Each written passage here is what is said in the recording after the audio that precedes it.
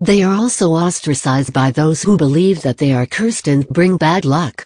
Albinism is a genetic disease characterized by the lack or a serious shortage of melanin on the skin, hair, eyes and hair and it comes with a high probability of cancer. Tanzania is thought to have the largest population of albinos in Africa, so photojournalist Anna Palacios visited the Kabanga Refuge Center in Tanzania to find out more about the plight of albino people. Today, the Kabanga Refugee Center provides support to 200 people. The Tanzanian Albinism Society has an estimated 8,000 registered men, women and children with albinism, but they estimate that Tanzania has a much larger population of albino people who choose to stay in hiding. The Tanzanian government has found it necessary to set up special centers to protect people with albinism, says Palacios.